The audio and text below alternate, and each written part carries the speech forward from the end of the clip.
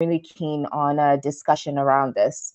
So this, uh, what I want to talk about is based on a piece that was co-authored by um, myself, Katharine Wright uh, at the University of Newcastle, Newcastle University, and Roberta Guerrina at the University of Bristol. And uh, in terms of what motivated us to write this piece, I think, you know, it came from uh, really, you know, Facebook messenger chats and video chats um, and just us talking about our lived experience um, at the start of um, COVID, but also in the context of other conversations that we've been having for perhaps about five, six years now around crisis. So, first, um, the financial crisis and the ensuing uh, austerity, and then Brexit and the work that we do on that, and more recently, COVID but also uh, it comes from our specific positionality. So myself as a black woman in Scotland trying to navigate a relatively new institution because I just started my job in at Stirling in 2019.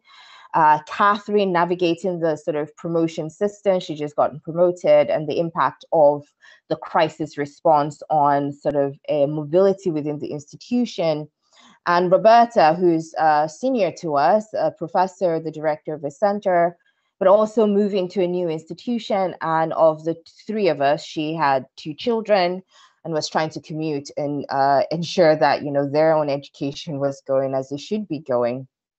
So, uh, but of course, we're also uh, collocated in different uh, parts of the country. So I'm in Scotland. Katharine is in the north of England, and um, Roberta is down south, uh, you know, on the border, kind of, uh, with Wales. So we thought, okay, we're having very different uh, experiences, but we're also having um, similar issues in that, you know, we're all in British universities. And although all our institutions were perhaps responding in different ways, so in Stirling, for example, they were quite decisive about when we moved um, a, online, whereas I think it took a while for um, Bristol to make that decision. There were still some commonalities. One of the things that we noticed is sort of, you know, when COVID happened, um, crisis tends to provide an opportunity for change or uh, the status quo. And what we saw was kind of the status quo and change happening all at once, where you had a lot of emphasis on uh, researchers to kind of pursue money that would fund uh, COVID related research, regardless of what it is that you'd previously done. And of course, for our part, as people who are interested in crisis, we didn't necessarily think that that was contra to some of what we might be interested in. But of course, the ways in which we were particularly interested in COVID, which was not short term, which was sort of trying to understand the, its impact uh, on a sort of spectrum or a continuum was not necessarily um, i would say did not necessarily speak to the kind of um, urgent or reactive type of funding uh, that was being um, that was really being pushed both by uh, universities but also by funding bodies. So you know we kind of defied that idea of newness.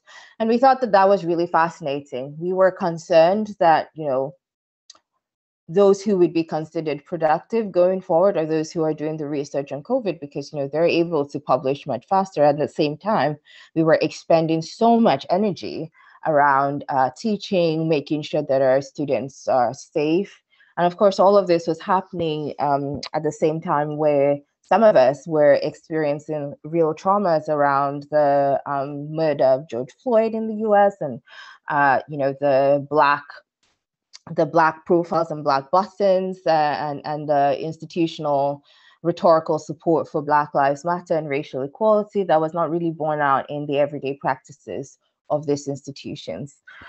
So we thought, okay, you know, another commonality is that we're all in sort of the same, we're in the same discipline. So we needed to reflect on that in the context of being in Pol IR, so to speak.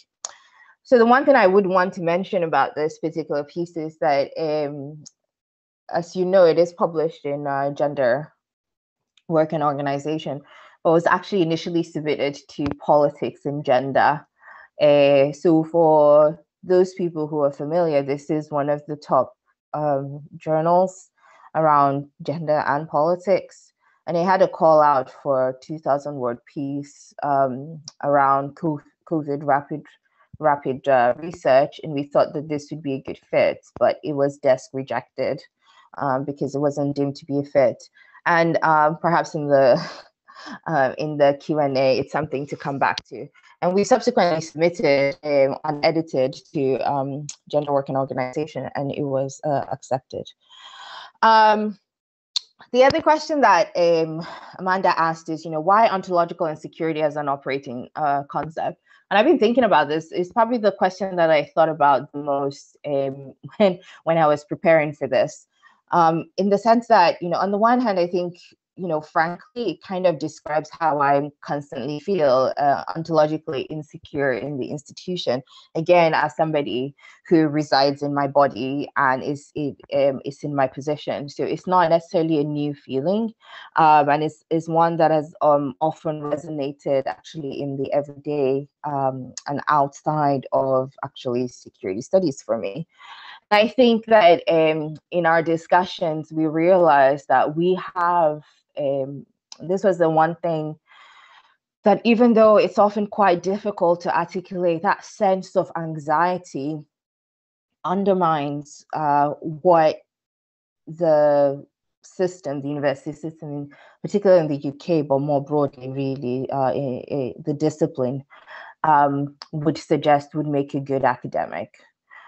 Um, and you might notice that in the article, you know, we really focus on research and the impact on research. That wasn't because uh, we were not thinking about teaching. In fact, that was probably the only, the thing that we prioritized above everything else.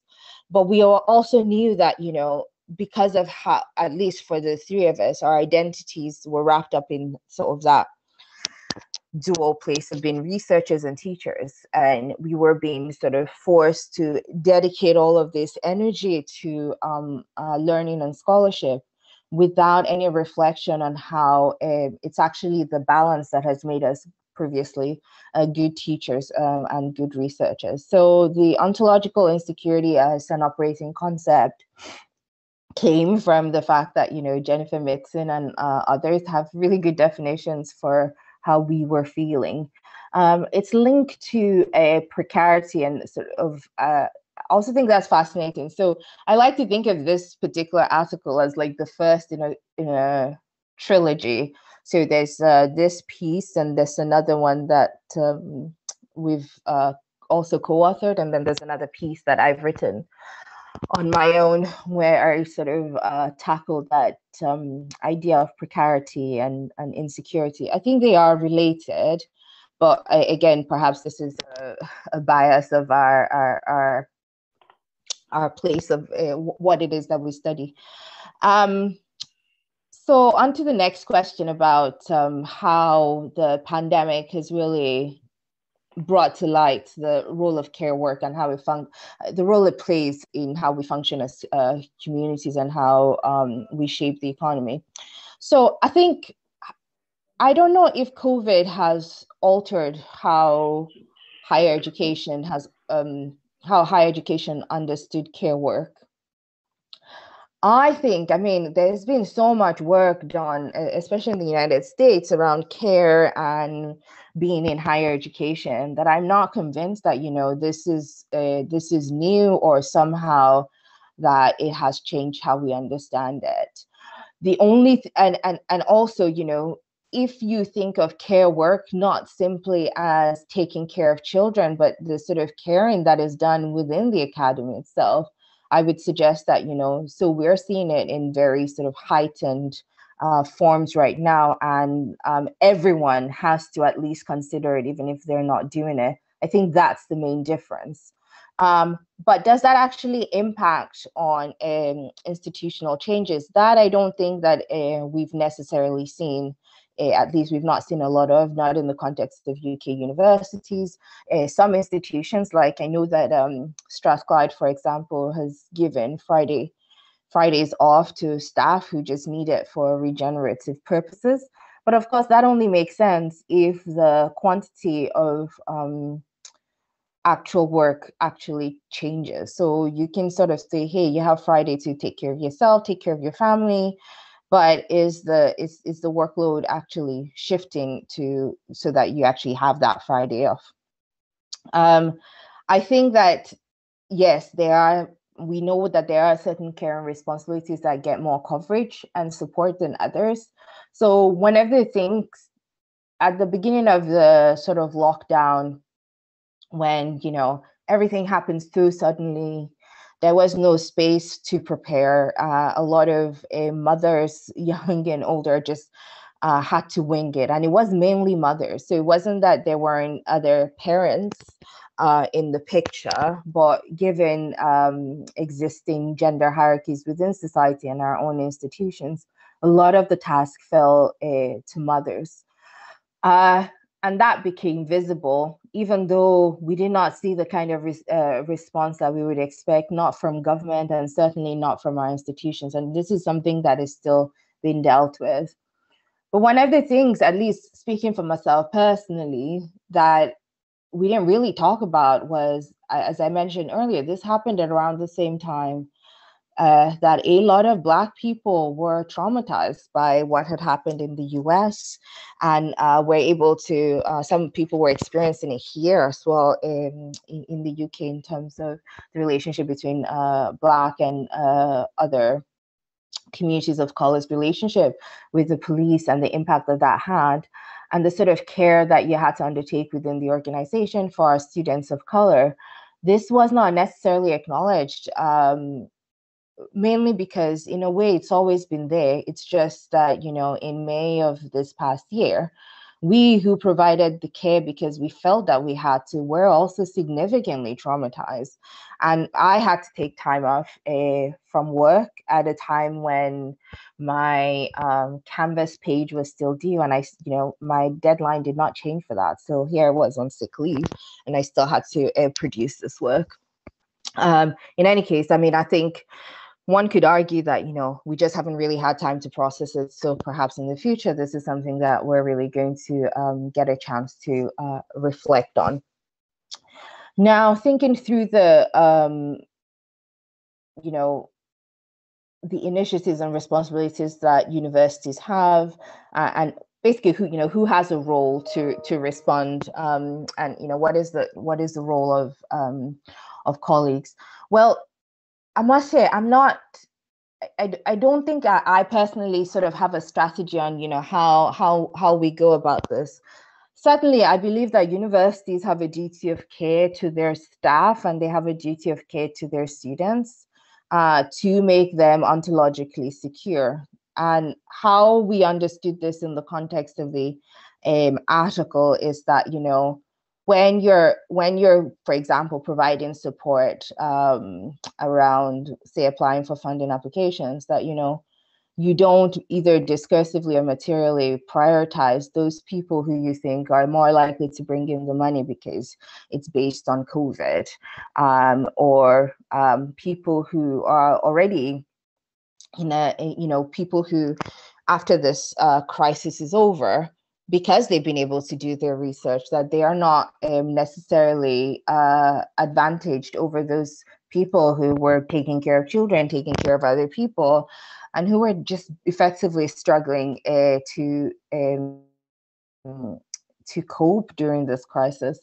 The other thing that I think has been highlighted by uh, COVID, and I think you know we don't talk about it enough. That whereas I think you know we're we're I think more or less clear about the gendered impact and we're coming to grips with the racialized impact.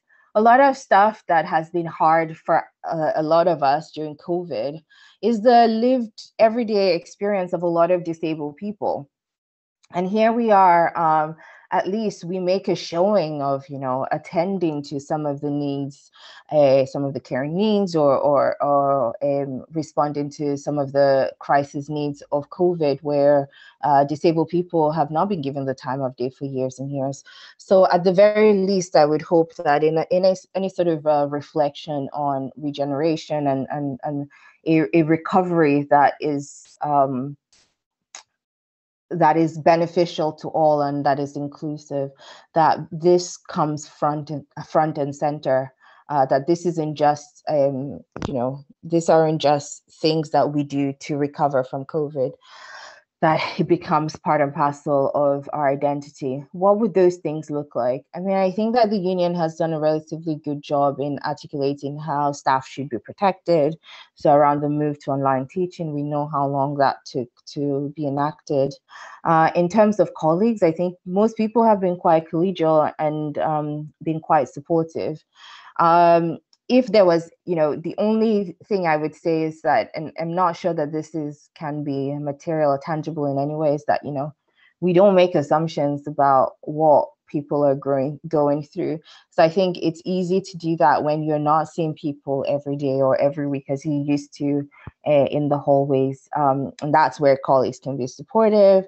I think, you know, union can definitely be, and there'll be a range of uh, of ways in which you can do that. Uh, uh, and on that note, I should say, if you're not in a union, join a union. Thanks. Great. Thanks for that, Toni. Those are some really interesting and important reflections. And I just remember, you know, when when your piece, your co-author piece first came out, um, it was it just resonated i guess with what i was thinking. So this is where i'm like great we need to invite toni to come and talk. But you know just your commentary here i, I saw i can only see aggie on the video but i saw her nodding along to a lot of these shared experiences um, across higher education. And i do like the idea of ontological um, insecurities and securities as you say that it offers more of a holistic look of who the the workers within higher education are um, and and the and the different supports um, they they require right to be secure workers. I guess i pushed you more on the precarity because as you know i come from a feminist political economy background so i was just wondering i'm like well okay what what what, what is new about this concept that feminist ipe scholars haven't already haven't already told us? Um, and then I, yeah, and then I, I'm particularly too. So as I'm totally abusing the position of chair until someone raises their hand or asks a comment or uh, put something in the chat box. But um, yeah, I think the the care work.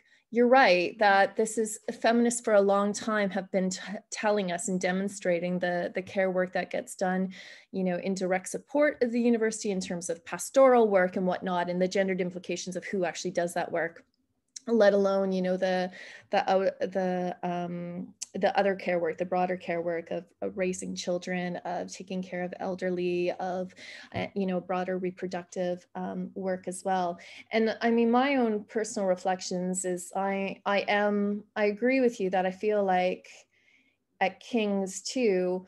Um, everyone I think now needs to acknowledge care work more than what they used to for mm-hmm. sure um, but it just yeah it seems to be the the care work the the parental care work seems to be rendered much more visible than than than other care work which i also find curious and interesting and then um, before i pass the floor over to aggie for a question um, just a um, yeah a further reflection on i think you raise a really important point about you know, the universities were throwing money at research on COVID, but you're right. Very, I think this is the experience at King's too.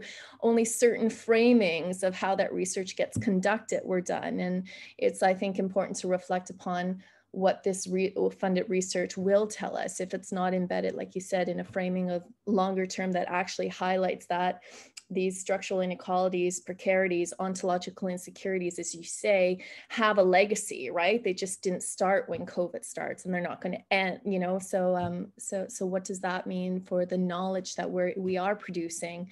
Who's producing that knowledge, and how we think about the implications of COVID. But I will stop with my commentary there um, and I will just um, pass the floor to Aggie for hopefully a question to you. Mine was more of commentary you can pick up or not as you want, Toni. Aggie?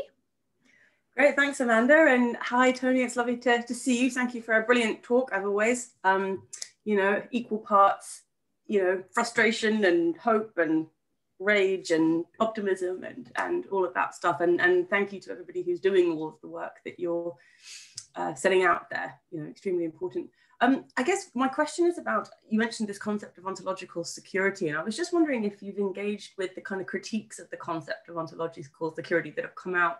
Um, I'm thinking particularly of Chris Rossdale's piece that came out, I think, four, year, four or five years ago now, probably. Um, and what he and what I think it does is that it draws out this really important question of how do we navigate, on the one hand, needing certain kinds of security, right? Like on an everyday basis, we need to feel secure in our jobs, ourselves, our positions, our interactions. And yet, how do we simultaneously kind of maintain a critique of security projects, qua security projects, even at the level of ontology? Um, because as we know, security projects have at their heart this attempt to kind of totalize and, and, master and always bring with them kind of hierarchies and exclusions of their own. So I guess I'm just wondering whether um, whether you've engaged with those critiques of ontological security and, and how that bears out in your thinking. Thanks a lot. Thank you, Aggie. Um, engaged, no, but I was just reading last night Chris's critique again because it came up for some um, another piece that I was um, working on, and I think I think the Mm, so I think the critique stands. I wouldn't doubt that at all, especially uh, if I was uh, deploying this in a sort of the usual security con- contexts. You would say, you know, one that somehow at some point one of the actors might be including the state.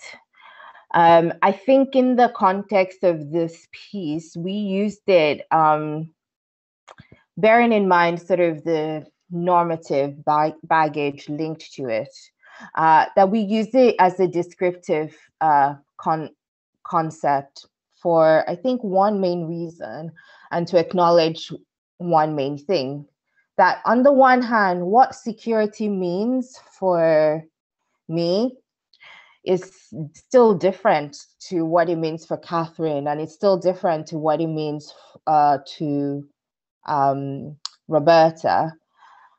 But that that feeling of anxiety, which again, as I said earlier, is not necessarily tangible. Like, you know, if you ask, said, you know, I was sat on a therapist chair and they asked me, you know, tell me what you mean by what you feel like. I can't, I can't define it for you, but I know how I feel.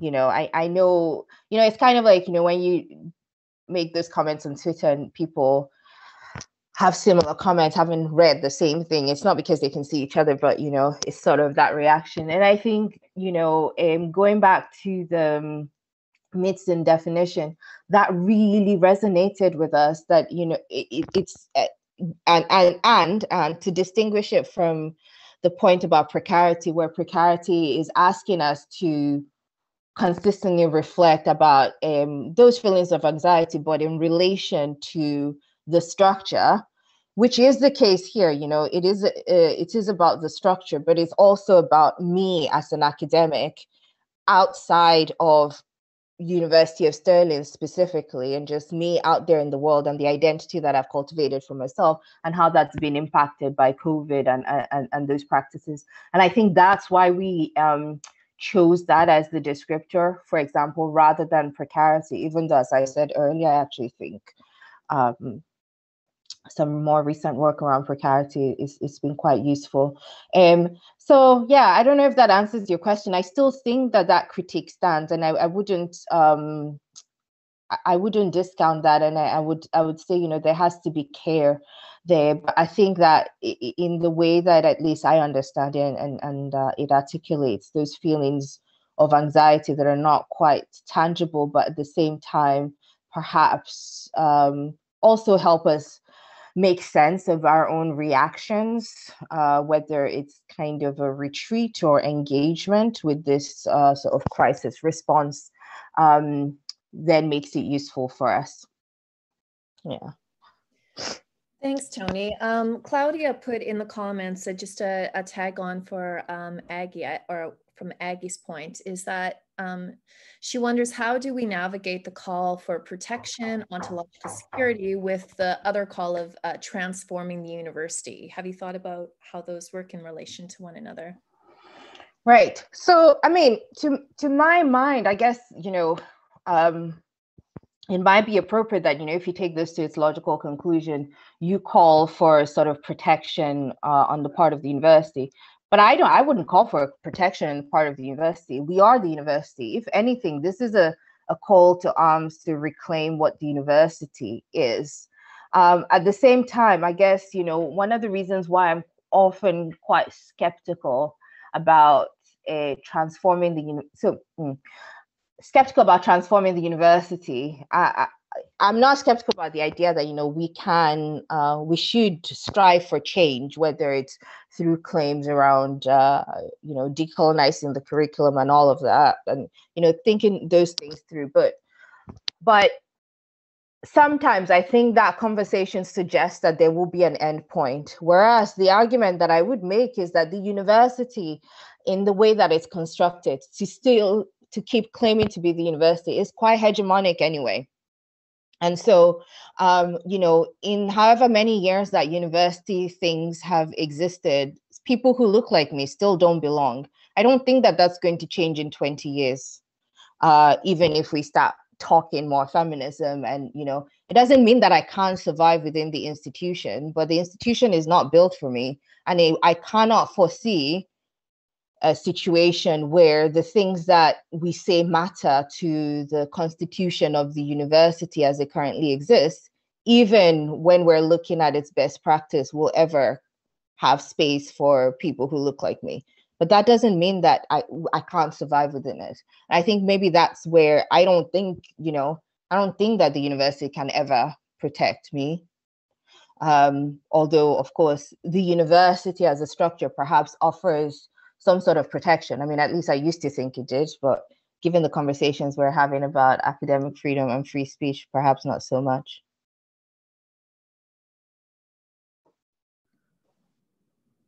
Yeah, I mean that such a dystopic view, which I think is so important too, isn't it? So it's you know, I think it's where we look, like you said, to uh, to um, being ontologically secure, right? And who, and um, you know, uh, if it's not structure, if, if we don't believe that the university as a structure um, can ever fully, you know, um, be the space where um, people who, like, like you said, Toni, people who aren't white, who, you know, um, who the, the university itself, the architecture wasn't built on, feel secure, then what, then who, then I guess, maybe maybe maybe finding the solution isn't necessarily the answer at the moment. I'm not sure what the answer no i mean i think so i guess i guess that's why i do come back to maybe the ontological security at least as i would suggest we use it. Again not perhaps not the logical conclusion of those people who do more theorizing than i do that my ontological security within the university.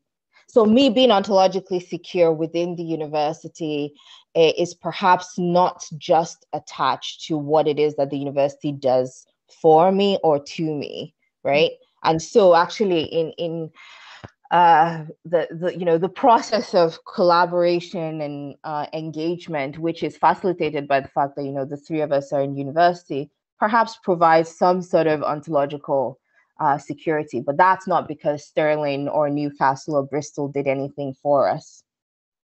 Uh, and I think maybe that would be the dis- distinction that I would make there um, in terms of you know what you can expect or what you can't expect. Um, it doesn't mean that you know at least I, I, you know i'm hoping that's not what the what the article came across as that you know we should just sort of throw our hands up and and give up at this point. But actually if we can call attention to the fact that um the slippery slope that we think that we're on uh, or you know at different points in this particular crisis you think you've reached the tip of the iceberg that we need to be careful uh, that that's indeed not the case and that you know again like this week uh, we kind of see the kind of conversations that are going on and that that are happening. Uh, it really shows us that you know we are it's not just that we are in crisis mode but there are multiple crises that intersect and that covid is just um, you know to use a very quantity term it's just an intervening variable in the broader crisis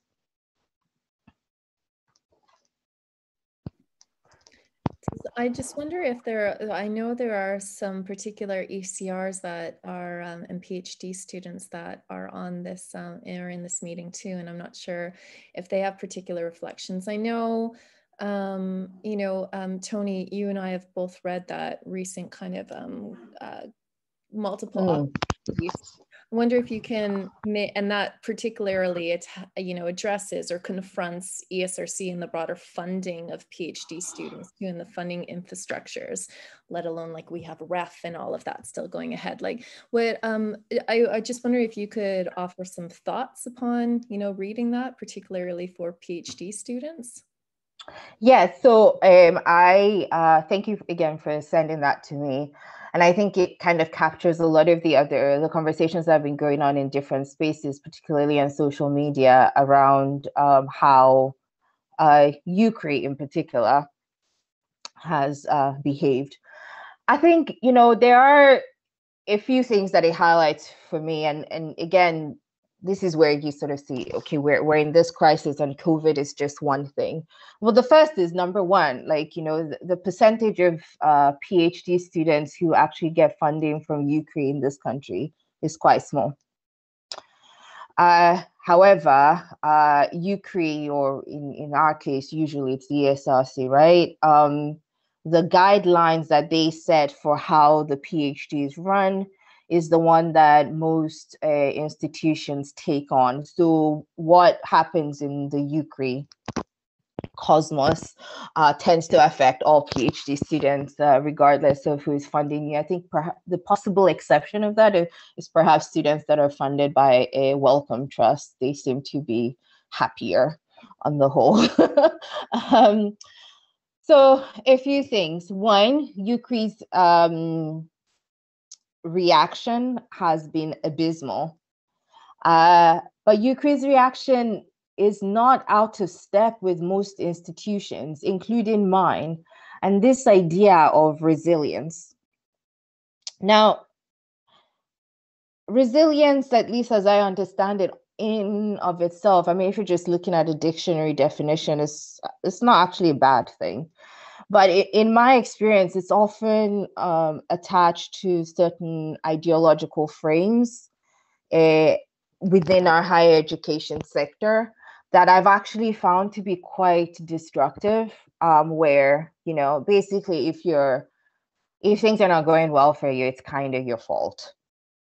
Um, whereas i mean i think that's slightly different from you know um, yeah we need to adapt to to crisis and how do we adapt to crisis so that you know we can bounce back better.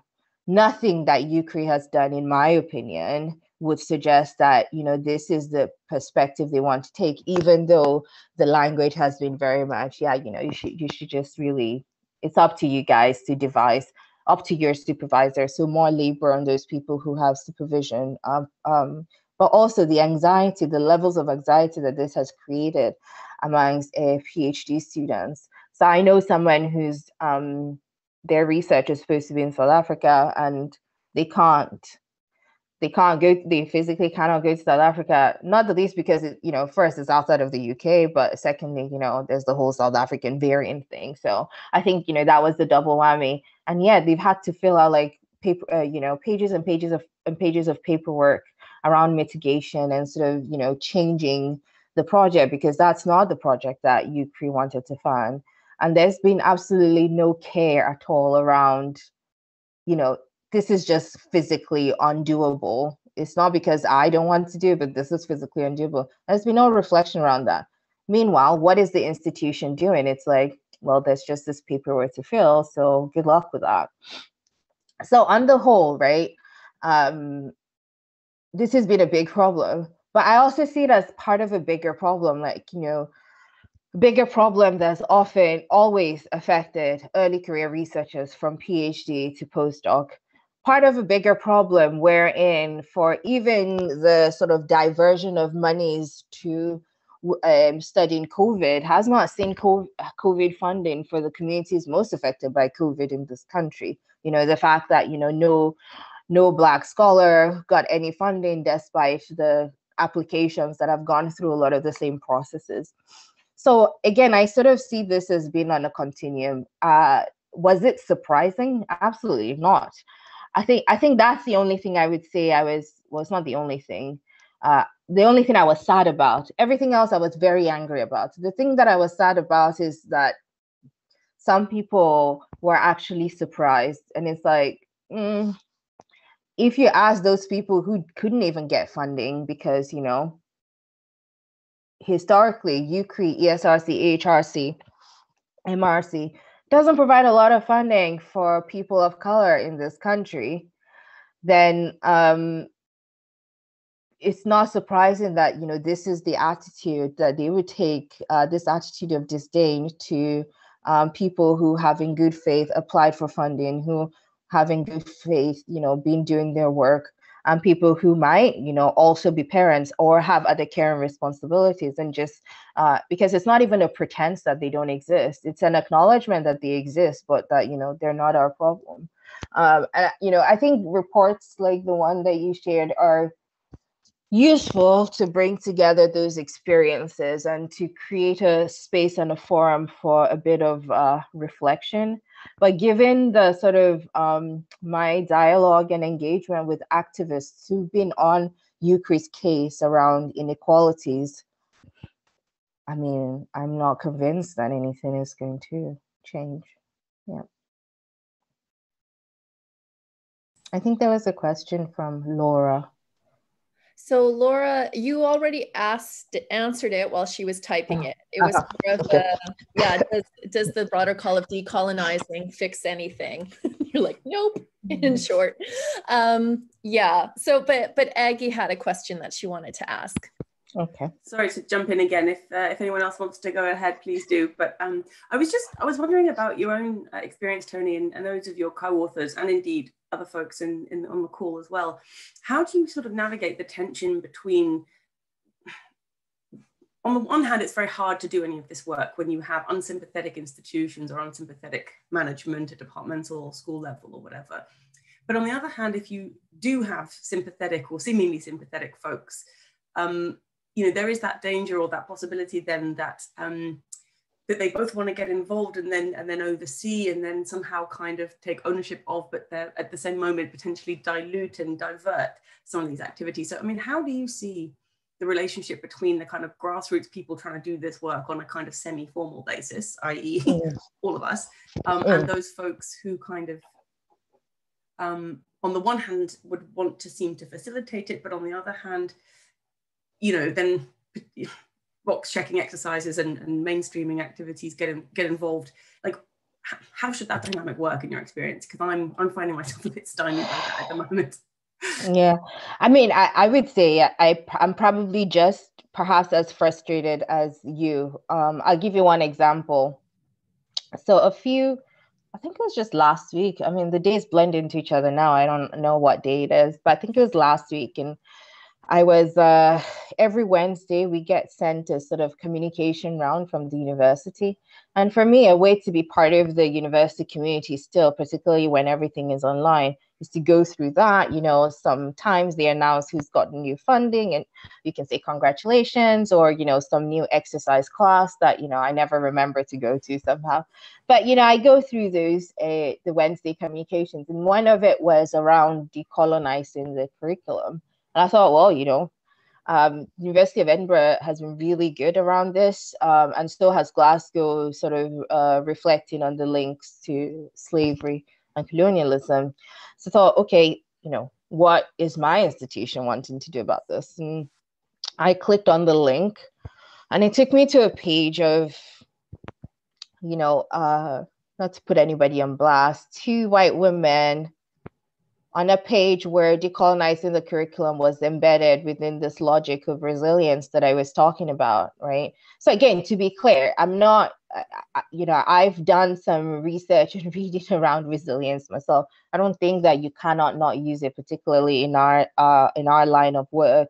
But I've seen how it's been articulated in the context of higher education since COVID, which is what I'm skeptical about. And the fact that it was sort of embedded within resilience, not decolonizing curriculum for its own sake, whatever you you know before we even get to how they understand that but being embedded within sort of this resilience um, and I had a very visceral reaction to it because I sort of tweeted about it. So many people were shocked. And I'm like, I mean, I don't even know if I'm shocked or angry or anything. And my reaction was, you know, this is why I uh, disengage with certain processes. So when you ask, you know, how does that dynamic work? Olivia Rutazibwa has this um, a concept of ethical retreat. And i i sort of turned that on his head. So like you know when she's talking about ethical retreat she's basically talking about people who have power uh, leaving a particular space because it causes more harm than good and you know in this context states. But i sort of turned that on his head and i sort of think of it as um, me uh, leaving a space because what is actually happening, I think, is unethical. So it's ethical for me to actually withdraw from that space, even though I don't. It's not that I have power in that particular space. I just find it as a u- useful descriptor. Uh, and so sometimes I think you have to make that call um, because uh, in, you know I, I think you know sometimes it's it's good to be in certain spaces where you can properly raise your voice and you know put your foot down about certain things but i you know in this particular context where in the midst of uh you know pandemic people literally dying you choose that moment to decide that you know of all the moments before and possible moments after you want to decolonize the curriculum within a narrative of resilience and adaptability. I can't there is no way that i can trust you even if you say you're sorry because that was the deliberate choice. So I think that in some cases, you know, um, you just have to say, yeah, I'm not doing that. Uh, in other cases, when you have allies, when you have enough people around the table who are saying, really, uh, you know, it's useful to bind together. And uh, that, you know, the result of that is this article. The result of that is the article we've submitted to you. Um, but in other in other contexts, you just have to say no thanks. So like earlier this year, I was asked, I wasn't asked to be fair because my head of department is awesome. She said, so you know, this stuff around uh, Black History Month is going on in October. I'm just, you know, letting you know out there. I was like, no, because this was the university that released this Black Lives Matter statement on a Saturday and on Facebook. I find you know it's it's it's very hard for me to believe that you you do care. Uh, so yeah, no, I'm not going to be used um, to pretend that you care about those things. Like you know, right now we're trying to get to figure out um, how to support students who might have to quarantine for almost two thousand pounds, and you know who's going to put up that money so do you care about Black lives or do you just care about their money? So things like that sometimes means that I, I I just don't engage, and I think that's okay. Some people would ascribe it to a self care issue, and I think in some cases it is, but I think in other cases I think it's just ethical to do that. Yeah. I mean, again, not to bring in my own research again, Toni. I feel like I want to go off. You should. I feel what you know for, um, and I, am sure Claudia and Aggie will be, you know, nodding along because I've talked at ad nauseum to them about this too. The concept of affect too, right? Um, and and how I mean, what you're describing and trying to articulate the the indescribable, the intangibles, right? I think also speak to the concept of affect as well as in terms of, you know, what Berlant and Ahmed, for example, describes it too. Mm-hmm um, and how that becomes gendered, racialized, classed in how people experience are expected to absorb more than others, right? Um, swallow more than others, who can have outbursts, who can swallow, who can. And I think all of this also ties into the concept of resilience, right? Who gets rendered more resilient, who gets rendered more ontologically secure is, is um, those aspects too. So maybe over a glass of wine at some point, we can um, hammer out what we think might be another journal article around this too. So thinking about this and sharing and i do like uh, yeah your your point of of knowing when to just disengage and and say no because i think we all get frustrated with the broader social justice edi kind of campaigns like aggie articulated quite well. You know it's the constant um, push push um, and then deciding when to pursue something and when not i think that's that's pretty good wisdom as well too Um, but I've talked way too much. Does anyone else have um, any other closing remarks? I think you just speak so eloquently, Toni, that um, I, I don't know. I prefer just listening. That's kind. but I don't know if anyone would just leave the space a pause. You know, virtually, you always have to pause a bit more um, to see if anyone else has any kind of final comments or commentaries. Again, I love that the, you know, some PhD and ECR students are here. And I know anecdotally through these different shared spaces, we've been able to, I mean, uh, Egg and I and, and, and Claudia participate quite frequently in the writing or re, um, writing sprints. And this has, um, I think offers another great space where you can collectively um, share ideas, feelings, thoughts. Like you said, you know, about the university, there's the structures of the university, but then there's also the colleagues, right? The networks, the friendships, and whatnot that I think are so important. And this is able to foster spaces of multiple perspectives and experiences, which I think is really important. And we still need to hold, hold on to that too. Yeah. yeah but yeah i don't i don't think anyone's going to raise their hands. I think they're just yeah it's and it's totally fine. It's great that you know people are in the room listening and we're we're engaging in these conversations. So toni i guess i'll just give the the floor left over to you or any kind of final reflections or thoughts before we close this cafe. Great. Um i mean i guess one of the things that i i've been thinking about lately is you know often we say things like, you know, the structure, and I say that as well, like the university. And in the end, right, um, we do that because we want to distinguish um, those things that seem unchanging and harmful to us from the things that uh, make us feel good, help us become our best selves uh, which are you know the friendships the different types of collaborations and that happen across institutions. But i also want but i you know increasingly i'm thinking sometimes that gives a pass to what is in effect people. That you know if you say um yeah so you know whatever it is that we say that is wrong with our universities this is based on decisions that specific people are making either as a group because they are in particular positions or as individuals but also because they're in particular positions. And this group collectively known as the management uh, but often refer to themselves as uh, leadership and i guess uh, that's where my a lot of my thoughts and, and my conversations with uh, both roberta and, and katharine is sort of tending to this days in, in you know as sort of an extension of, of of what we're talking about in the article about you know the distinctions between management um, and leadership and the importance of still recognizing agents within structure and agents that have uh, the power to change, uh, and that change obviously can be um, again regenerative or toxic, as we find. So you know, definitely do not let VCs off the hook, even if it's it feels more productive to just disengage for a while. But you know, there's a reason why they are the CEOs of the institutions, and that's why you know I'll be frank and say I'm quite pleased by a what's not what led to it, but the kind of responses in uh, both Leicester and in Manchester around choices that have been made uh, in the context of COVID for whatever reason.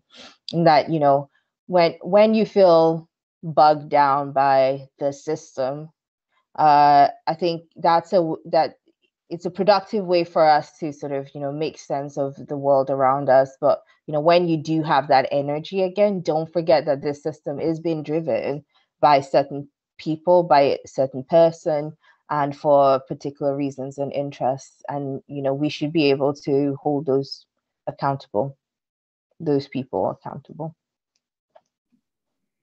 Thank you so much for your reflections and thank you for ending it on a both. It's okay to retreat, have self care, but you know, let's build ourselves up as a community and fight back. And you're right in in naming people behind these processes and structures and institutions right? So to concretely name that these are people and these are concrete social relations that are underpinning why decisions are being made. So um, yeah again toni thank you so much for co-authoring this amazing piece and the research that you continue to do on this work. It's so important. Um, and thanks so much for your activism around this. We need this across university spaces too, right? So, um, and, and for giving us a very sobering reminder of reality, but also spaces, again, my turning to affect, spaces of hope, right? Mm. that, that you know, that always exists. So thank you for presenting at our EDI Cafe chat. And thank you very much for having me.